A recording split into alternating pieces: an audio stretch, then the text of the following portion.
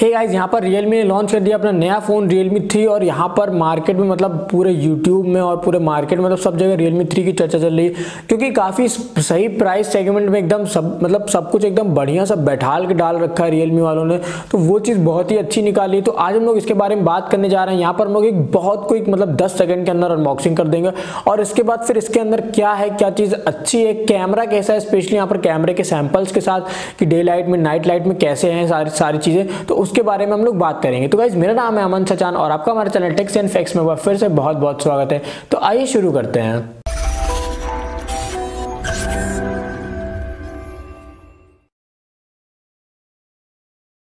तो गाइज़ यहाँ पर करते हैं जल्दी से क्विक से अनबॉक्सिंग तो यहाँ पर हम कुछ करना नहीं है, ऐसा पीला सा बड़ा सा डब्बा दिया गया ग्रे कलर का, ऊपर से बड़ा सा थ्री लिखा हुआ है येलो कलर से रियलमी और फिर यहाँ से हम लोग डब्बा खोलते हैं। सबसे ऊपर आप लोगों को यहाँ पर कुछ प्रोटेक्टिव केस और मैनुअल्स और यहाँ पर सिम इजेक्टर टूल मिल जाता है। इसके नीचे हम लोग आते हैं डायरेक्ट फ़ोन पे। अगर बात करें यहाँ पर हम लोग चार्जर और डेटा केबल की तो वहीं हम लोगों को नॉर्मल चार्जर और डेटा केबल मिलता है। मतलब कि जो हम लोग का दो एम्पियर वाला चार्जर है, वही है। और यहाँ पर डेटा केबल हम लोग को माइक्रो भी मिलती है। तो अभी हम लोग आते हैं अपने फ़ोन पे, यहाँ से हम लोग हटाते हैं। पीछे के इसका जो है पूरा स्टिकर तो अभी हम लोग का फ़ोन एकदम सामने, देख सकते हैं यहाँ पे यहाँ पर एकदम ग्लॉसी फिनिश दिया गया है। और जो यहाँ पर ग्रेडियंट मैंने कलर लिया हुआ है मतलब जो ये मेरा जो वर्जन है, वो तीन जी रैम वाला वर्जन है, और कलर जो है, वो यहाँ पर ग्रेडियंट वाला है ब्लू ग्रेडियंट में। तो यहाँ पर आप देख सकते हैं, नीचे से मतलब पर्पल का ऐसा ग्रेडियंट आ रहा है, ऊपर से पूरा ब्लैक तो वो चीज़ रियलमी ने पहली बार करी और वाकई में काफ़ी सही लग रहा है। अगर आप इसको कंपेयर करें तो थोड़ा थोड़ा आप कंपेयर कर सकते हैं, जो ओप्पो F9 Pro एक बार आया था मतलब अभी कुछ दिन पहले स्टेरी पर्पल स्पेशल एडिशन तो वहाँ पर भी ऐसा ही कुछ ग्रेडियंट था मतलब नीचे से ऐसा पर्पल कलर मतलब उसमें तो खैर पूरा ही पर्पल था, पूरे में ग्लिटर्स लगे हुए थे, लेकिन यहाँ पर भी अगर आप ध्यान से देखें तो ग्लिटर्स यहाँ पर आपको थोड़े बहुत देखने को मिल जाते हैं और ऊपर की तरफ़ ऐसे आते हुए तो वो चीज़ काफ़ी अच्छी लगती है। जो मतलब ग्रिप है फ़ोन की, वो ज़्यादा बेटर है रियलमी वन और रियलमी टू के कंपेरिजन में, क्योंकि वहाँ पर आपको ब्लैक बैक में पूरा ग्लास मिलता था। और बाकी ओवरऑल ऐसे आगे फ़ोन में यहाँ पर आपको ड्रॉप मिल जाती है वाटर ड्रॉप नॉच तो वो चीज़ मुझे काफ़ी अच्छी लगी। बाकी फ़ोन को यहाँ पर ऑन कर लिया हम लोगों ने तो ऑन करने के बाद अभी हम लोग आते हैं ज़रा फ़ोन के अंदर। और अभी आप देख सकते हैं फ़ोन की जो स्क्रीन है, वो बहुत ही सही है। मतलब एक चीज़ मैं आपको बता दूँ, यहाँ पर फ़ोन की स्क्रीन है, वो एच प्लस है फुल एच प्लस नहीं है। लेकिन यहाँ पर आप मतलब कह नहीं सकते कि एच प्लस है, क्योंकि फ़ोन का जो एक्सपीरियंस है, वो काफ़ी इमर्सिव है स्क्रीन का तो वो मुझे काफ़ी सही लगा। ओवरऑल स्क्रीन बहुत ही सही लग रही है। एचडी अगर आप सोच रहे हैं कि यहाँ पर स्क्रीन आपको एचडी प्लस मिलेगी तो यहाँ पर थोड़ा सा बेकार है तो वो चीज़ आप बिल्कुल नहीं कर सकते। आप एकदम मतलब बहुत, ये नहीं कह रहा हूँ मैं, एकदम वो फुल एचडी प्लस की तरह यहाँ पर आपको शो करेगी। लेकिन यहाँ पर आप कंपेयर भी थोड़ा सा नहीं कर पाएँगे क्योंकि वो लगभग लगभग इक्वल लगते हैं दोनों। अभी यहाँ पर मेन जो इसका हाईलाइट है, वो है यहाँ पर एंड्रॉयड पाई पड़ा हुआ है और वो भी यहाँ पर colour O S six version के साथ। अब colour O S six version इसको बहुत ही स्मूदर बना दिया एज कंपेयर टू लास्ट जो कलर ओ एस था 5.2 या फिर फाइव उसमें वहाँ पर क्या था कि मतलब मैं अपना पर्सनल अगर एक्सपीरियंस दूँ तो वहाँ पर इतना कुछ मुझे खास नहीं लगा क्योंकि वो थोड़ी सी मुझे मतलब उसका जो पूरा यूआई था यूज़र इंटरफेस तो वो मुझे थोड़ा सा बगी लगता था और मतलब ऐसा कुछ खास नहीं लगता था और ओके ओके लगता था। लेकिन यहाँ पर ओ एस में बहुत सारे फिक्स किए गए बग्स को और बहुत सारी चीज़ों को फिक्स किया गया है अपग्रेड किया गया काफ़ी चीज़ों को। सबसे मेन हाईलाइट इसका कैमरा कैमरा को इतने बढ़िया तरीके से अपग्रेड किया बहुत ढेर सारे फीचर्स डाल रखे हैं कैमरे में।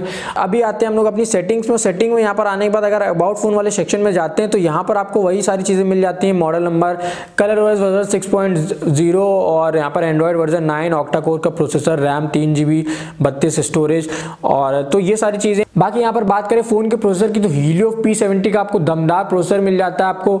यहाँ पर दो वेरिएंट में अवेलेबल है, तीन जी बी रैम चार जी बी रैम में आपको ये वाला जो प्राइस है, वो इस वाले फ़ोन की प्राइस है, तीन जी बी रैम वाले की, वो नौ हज़ार रुपये मतलब आठ हज़ार नौ सौ निन्यानवे रुपये और गाइज़ अभी बात करते हैं ज़रा कैमरे के बारे में तो यहाँ पर हम लोग कर लेते हैं कैमरे को ऐप को ओपन और आप देख सकते हैं कैमरे में बहुत ढेर सारे नए फीचर्स ऐड किए गए हैं एज कंपेयर टू लास्ट वाला ओएस और यहाँ पर पूरा एआई कैमरा है, हम लोग का बैक में तेरह प्लस दो मेगा का कैमरा मिलता है, जो तेरह मेगा वाले के कैमरे का अपर्चर है, वो एफ़ 1.8 है। मतलब कि यहाँ पर आपको लो लाइट में बहुत ही बढ़िया फ़ोटोज़ मिलने वाली हैं और यहाँ पर जो फ्रंट कैमरा वो आपको 13 मेगापिक्सल का मिल जाता है, जिसमें कि आपको एफ़ 2.0 का एपर्चर मिल जाता है। मतलब फ्रंट कैमरे को भी काफ़ी सही किया गया है।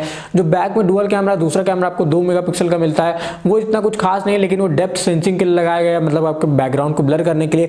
तो अभी कैमरा ओपन करने के बाद यहाँ पर कैमरा कैमरा में बहुत सारे आपको नए ऑप्शन मिलते हैं। सबसे अच्छी चीज़ तो यहाँ पर कैमरे में एक ऑप्शन दिया गया। यहाँ पर आपको क्रोमा बूस्ट का। ये क्रोमा बूस्ट फीचर मुझे पर्सनली बहुत सही लगा क्योंकि मैंने बहुत सारे सैंपल्स लिए।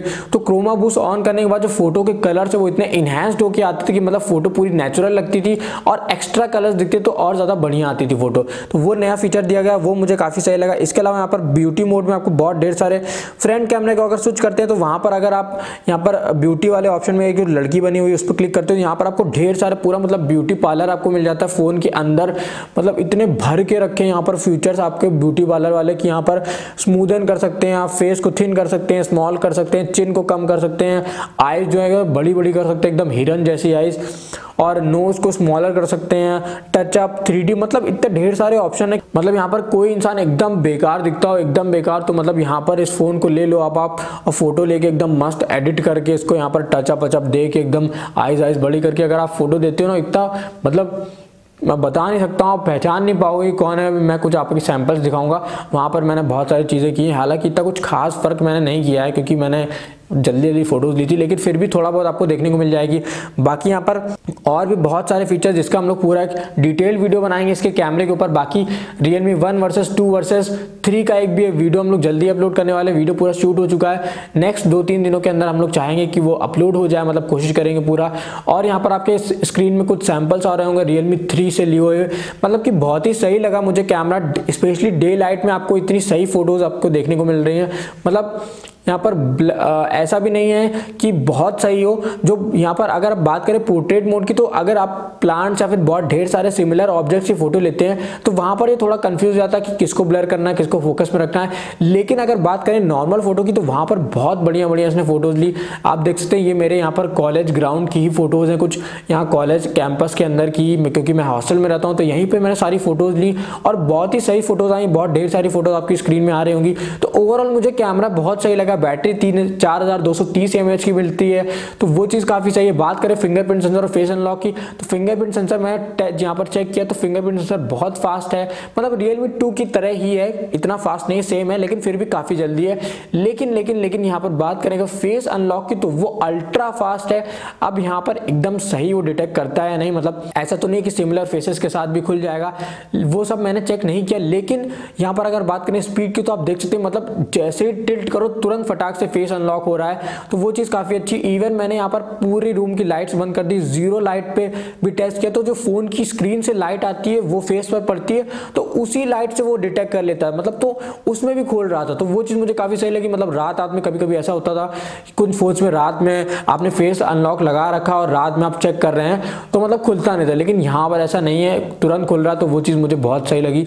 ओवरऑल मैं रियलमी की परफॉर्मेंस काफ़ी सही है, काफ़ी सारे नए अपग्रेड्स काफ़ी सारी नई चीज़ें लाया है। तो ओवरऑल दस हज़ार के नीचे अगर आप फ़ोन सोच रहे हैं तो मेरे हिसाब से Realme three best phone है आपके लिए। और बाकी और भी बहुत सारे ऑप्शन है, लेकिन रियलमी काफ़ी सही है।